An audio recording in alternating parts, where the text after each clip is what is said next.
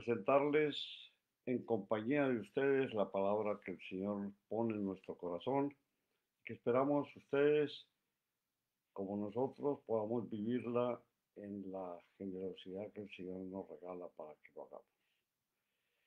¿Qué nos dice hoy? Jesús controla y cuida el rebaño dado por su Padre. Y leemos en el Evangelio, salió Jesús de allí, vino a su tierra y le seguían sus discípulos. Llegado el día de reposo, comenzó a enseñar en la sinagoga y muchos oyéndole se admiraban y decían, ¿de dónde tiene este tantas cosas? ¿Y qué sabiduría es esta que le es dada y estos milagros que por sus manos son hechos? ¿No es este el carpintero hijo de María, hermano de Jacobo, de José, de Judas y de Simón? ¿No están también allí con nosotros sus hermanas? Y se escandalizaban de él. Mas Jesús les decía, no hay profeta sin honra, sino en su propia tierra, y entre sus parientes y en su casa. Y no pudo hacer otra cosa allí, ningún otro milagro, salvo que sanó a unos pocos enfermos poniendo sobre ellos las manos. Y estaba asombrado de la incredulidad de ellos y recorría las aldeas de alrededor enseñando. Después llamó a los doce y comenzó a enviarlos de dos en dos y les dio autoridad sobre los espíritus inmundos. Y les mandó que no llevasen nada para el camino sino suficiente bordón, ni alforja ni pan, ni dinero en el cinto, sino que calzasen sandalias y no vistiesen dos túnicas. Y les dijo, donde quiera que entréis en una casa, posad en ella hasta que salgáis de aquel lugar, y si en algún lugar no os recibieren ni os oyeren, salid de allí y sacudid el polvo de esta debajo de vuestros pies, como testimonio de ellos. De cierto os digo que en el día de justicia será más tolerable el castigo para los de Sodoma y Gomorra que para aquella ciudad. Y saliendo, predicaban que los hombres se arrepintiesen. Echaban fuera muchos demonios y ungían con aceite a muchos enfermos y los amaban. Oyó el rey Herodes la fama de Jesús porque su nombre se había hecho notorio y dijo Juan el Bautista ha resucitado de los muertos y por eso actúan en él estos poderes. Otros decían, es Elías, y otros decían, es un profeta, o alguno de los profetas. Al oír esto, Herodes dijo, este es Juan, el que yo decapité, que ha resucitado de los muertos. Porque el mismo Herodes había enviado y prendido a Juan y le había encadenado en la cárcel por causa de Herodías, mujer de Felipe, su hermano, pues la había hecho su mujer. Porque Juan decía a Herodes, no te es lícito tener la mujer de tu hermano. Pero Herodías le acechaba y deseaba matarle y no podía, porque Herodes temía a Juan, sabiendo que era varón justo y santo y le guardaba a salvo. Y oyéndole se quedaba muy perplejo, pero le escuchaba de buena gana.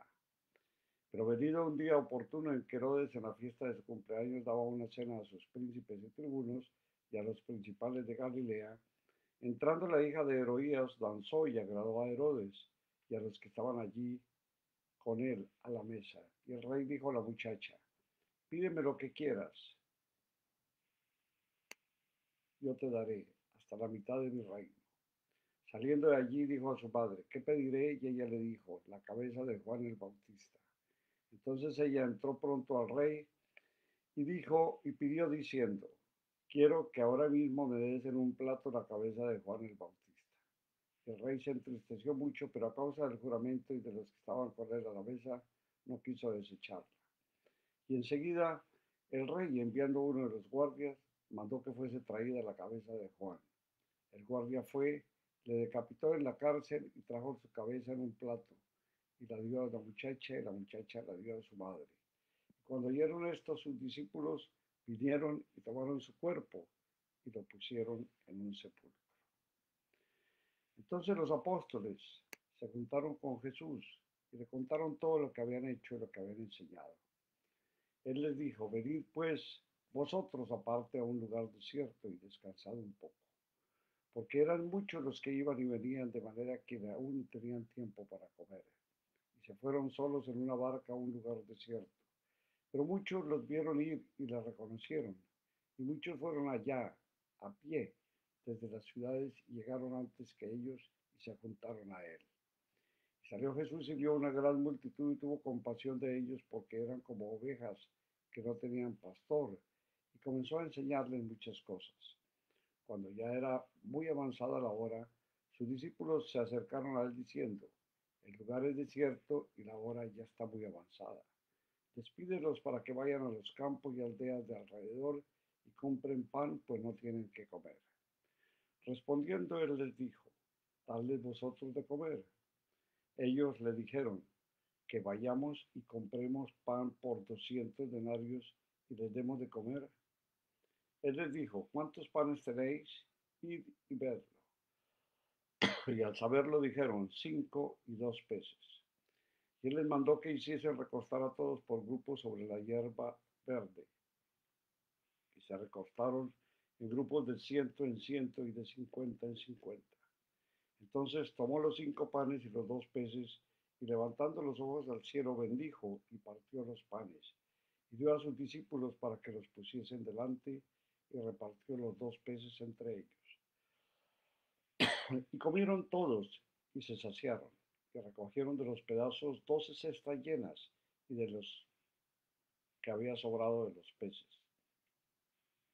Y los que comieron fueron cerca de cinco mil hombres. Enseguida hizo a sus discípulos entrar en la barca e ir delante de la Betsaída, en la otra orilla, entre tanto que él despedía a la multitud. Viéndole remar con gran fatiga porque el tiempo les era contrario, cerca de la cuarta vigilia de la noche vino a ellos andando sobre el mar y quiso adelantárseles. Porque todos le veían Viéndole ellos andar sobre el mar, pensaron que era un fantasma y gritaron. Pero enseguida habló con ellos y les dijo, tened ánimo, yo soy, no temáis. Y subió a ellos a la barca y se calmó el viento. Y ellos se asombraron de gran manera y se maravillaron, porque aún no habían entendido lo de los panes, por cuanto estaban endurecidos sus corazones.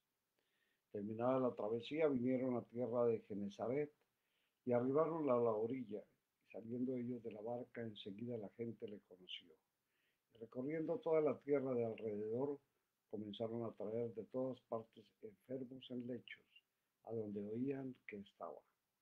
Y donde quiera que entraban, en aldeas, ciudades o campos, ponían en las calles a los que estaban enfermos y le rogaban que les dejase tocar siquiera el borde de su manto. Y todos los que le tocaban quedaban sanos.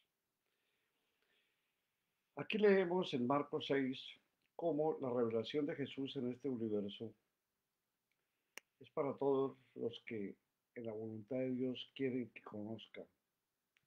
Y para ello nos brinda los episodios más fidedignos de las muchas verdades que se escribieron durante la vida física de Jesús en la tierra.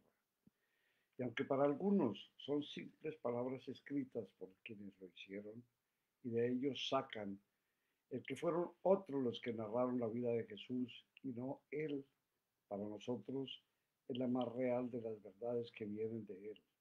Y solo cuando obramos para creer y estar firmes en las manifestaciones santas es que sabemos que sí vienen de la revelación divina.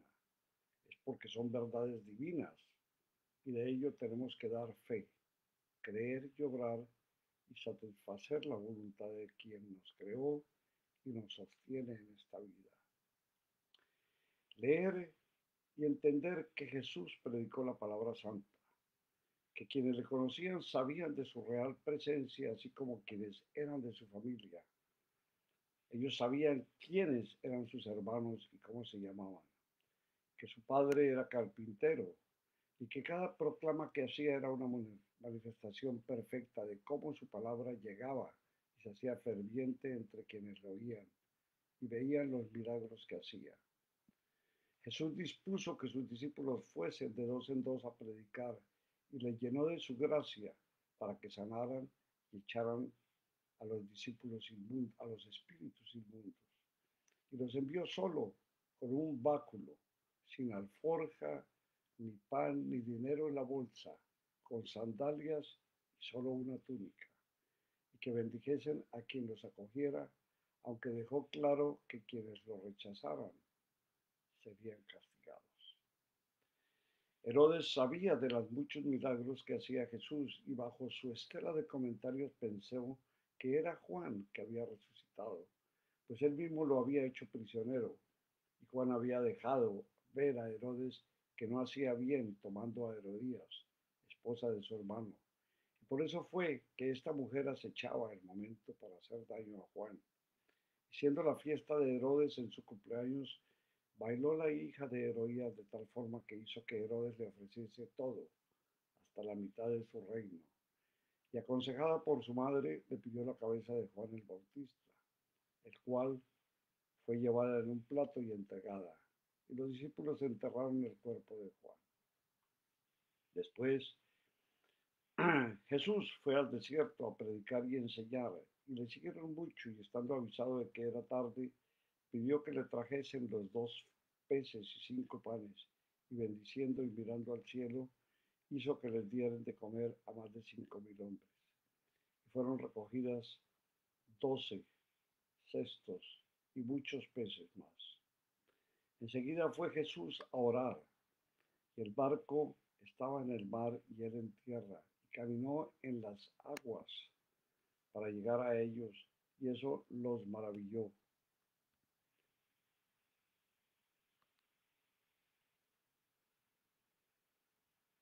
Reunidos todos fueron a varios lugares y sanaba a muchos, pues todos estaban pensando que si solo tocaban su vestido, ellos serían sanos de sus dolencias y de sus necesidades. Hoy nosotros sabemos perfectamente que ese fue el efecto claro de la gracia divina derramada sobre quienes estaban a su lado. Él perdonó pecados, Él dio salud a los que estaban enfermos, Él curó a quienes estaban con infecciones, Él sacó demonios que estaban encerrando y estaban cautivando a quienes los tenían en su interior. Jesús hizo lo que su Padre ordenó. Y a nosotros nos dejó esa estela de verdad y de belleza para que nosotros pudiésemos estar sanos y salvos mañana, cuando seamos redimidos y cuando tengamos que presentarnos ante el Padre, sabremos que Él nos ha perdonado porque nuestros pecados fueron tomados por su gracia y arregados al mar para nunca más volver a nuestras vidas. Esto es lo que el Señor ha hecho. Por eso Jesús Dios libera nuestras almas para que podamos orar, para que podamos alabar y para que podamos cumplir la palabra sagrada de nuestro Creador. Vamos a ver más adelante cómo Estamos ausentes del cuerpo, pero presentes con el Señor. Y rogamos al Padre Eterno para que nos permita la gracia de poder saber que esta gran verdad está en cada uno de nosotros. Regresamos después de unos cortos mensajes.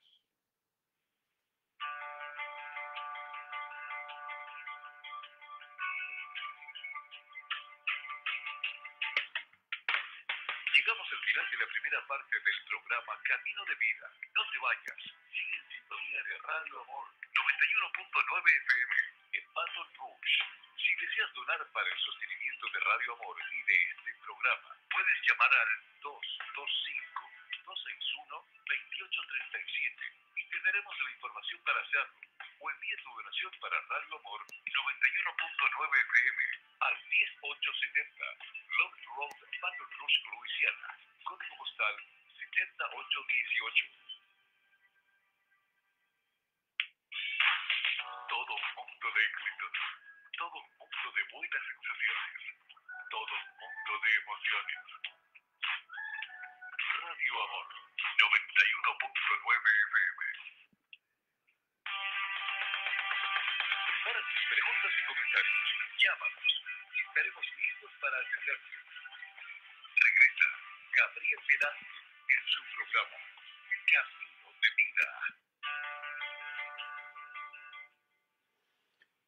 Siempre encontramos que la razón de algunos pasajes que nosotros contemplamos dentro de los estudios que realizamos causan controversias y requieren una particular atención y, por qué no decirlo, un análisis de qué es lo que estamos encontrando.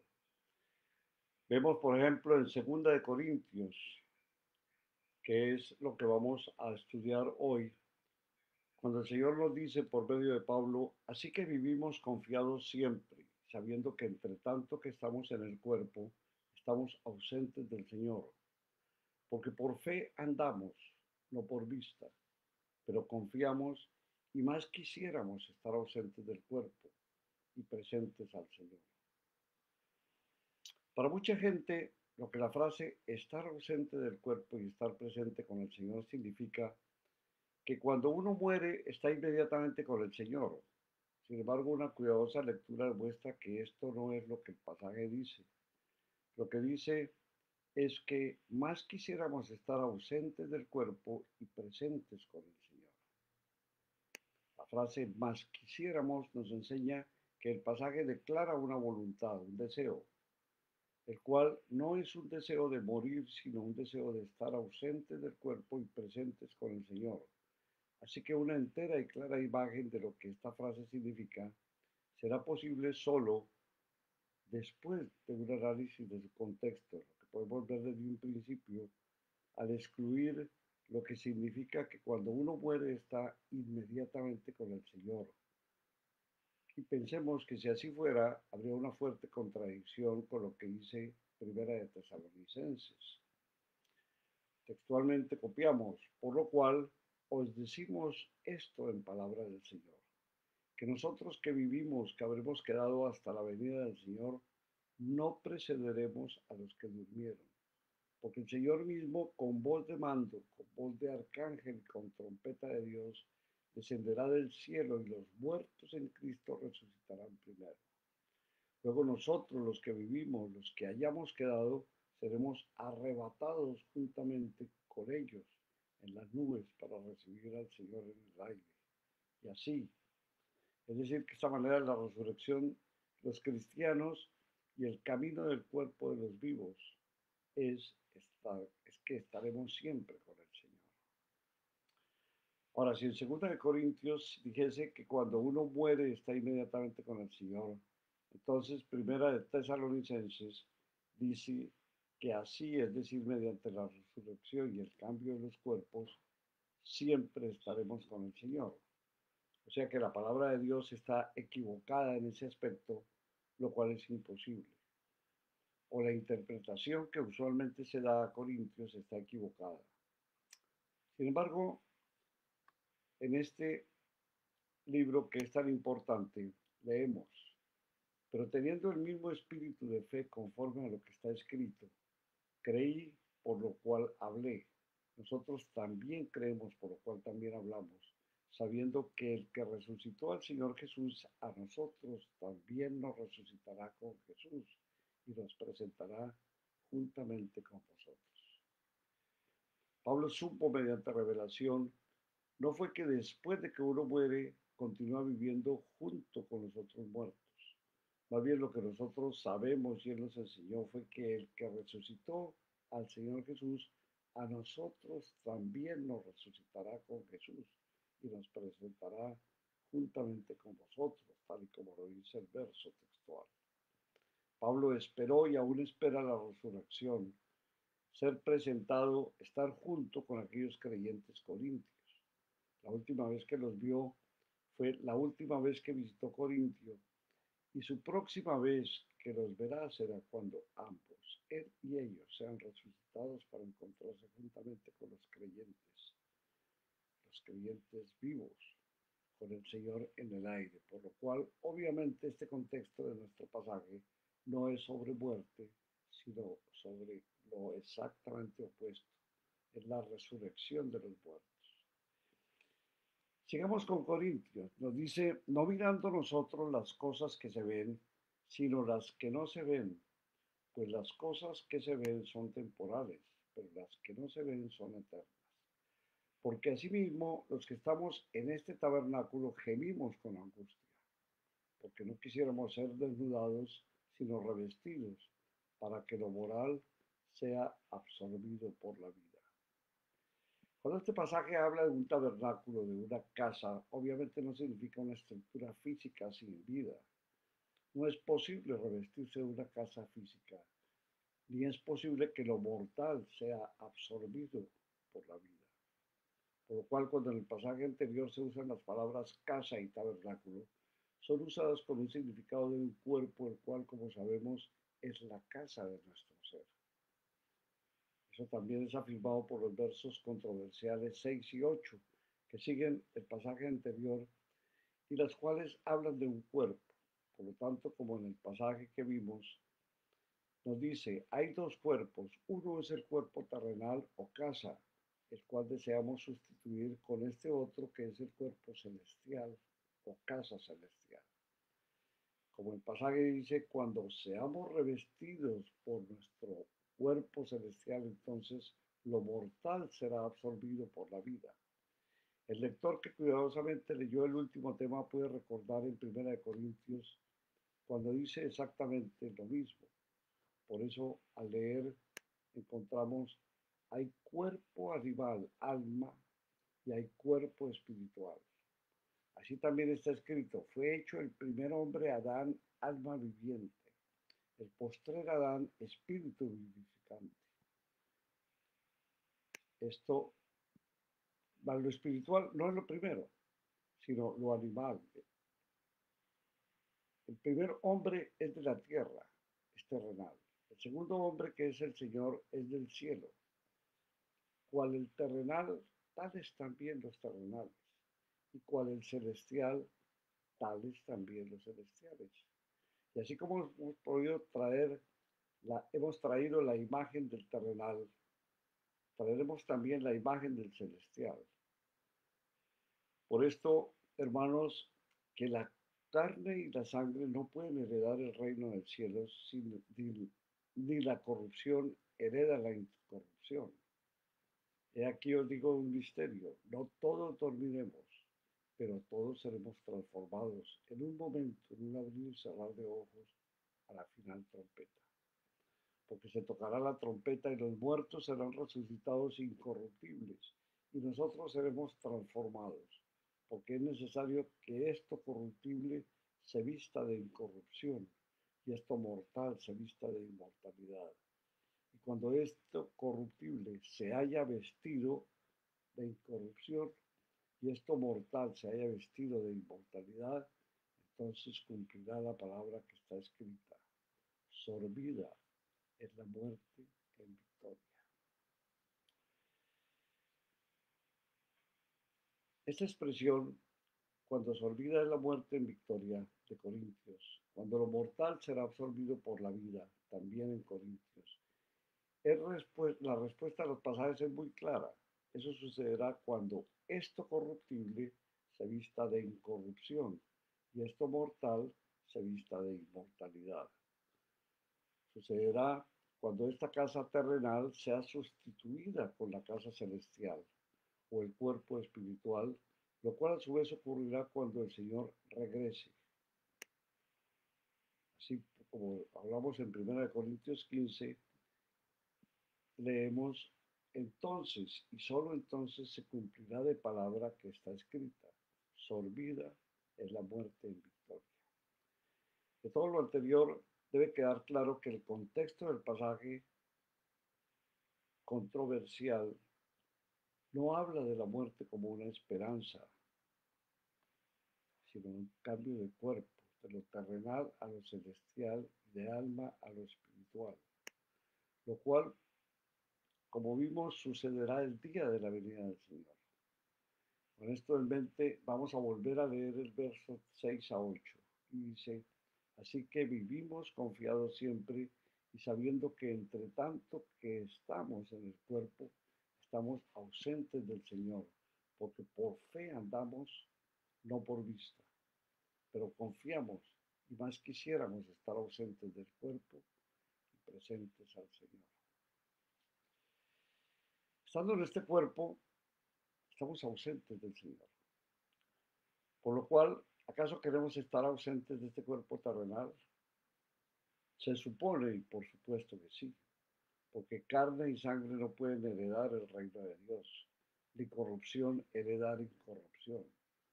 ¿Significa que queremos morir?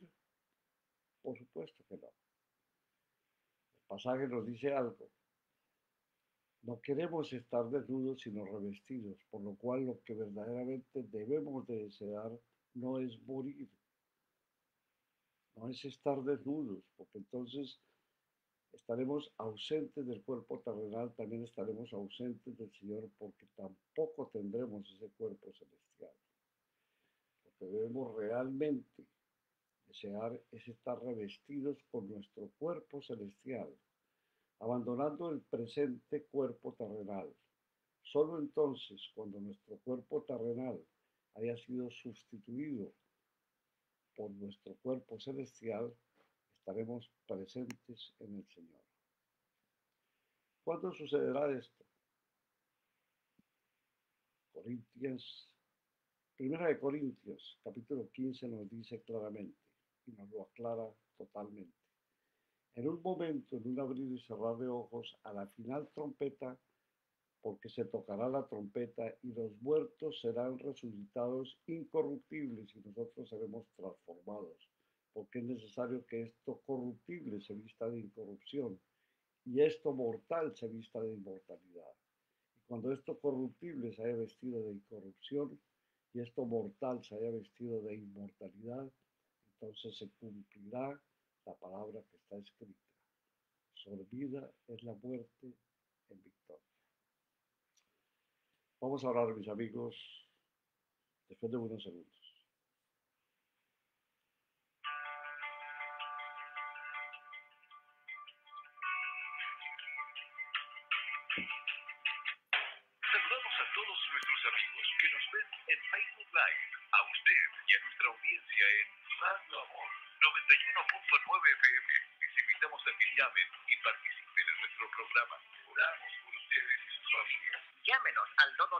225-725-3646.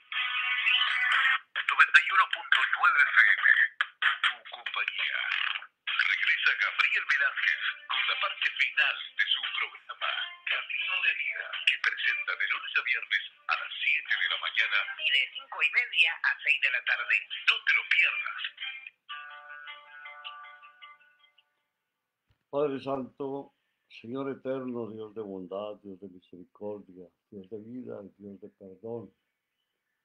Te damos muchas gracias, primero que todo por Jesús, Señor, porque en el Hijo tuyo ha estado la única esperanza que nosotros podemos tener como mortales, y es ser rescatados y resucitados por la sangre de tu, de tu Hijo, y en él ser elevados a la dignidad de ser sus hermanos e hijos tuyos vida eterna. Te damos gracias, Señor, por todo lo que nos has complacido, por todo lo que nos has brindado, por la seguridad que nos has dado y por la protección que has tenido sobre nuestras vidas.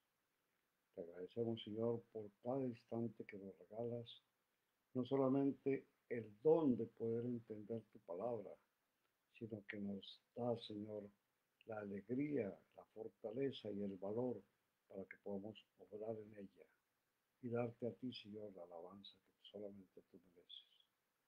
Perdona nuestras culpas, Padre Santo. Levanta nuestros corazones y que, que seamos dignos de poder proclamar tu palabra y llevarla, Señor, a todos los lugares para cumplir con esta santa misión que tú nos has encomendado. Te lo pedimos todo en el nombre de Cristo Jesús. Amigos, gracias por su bondad de estar con nosotros. Gracias y esperamos que nuestra oración sea para todos y para ti una bendición muy especial. Que Jesús viva en tu vida y sea el Señor que guíe cada paso que des buscando su camino.